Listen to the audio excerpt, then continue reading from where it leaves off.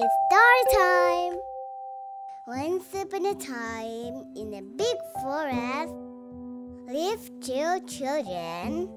Their names are Christy and John.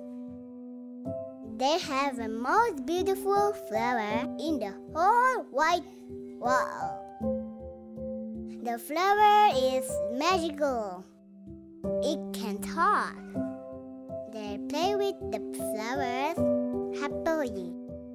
Then the mothers say, It's time to go home. And the children say, Bye. They went home and they live happily ever after. The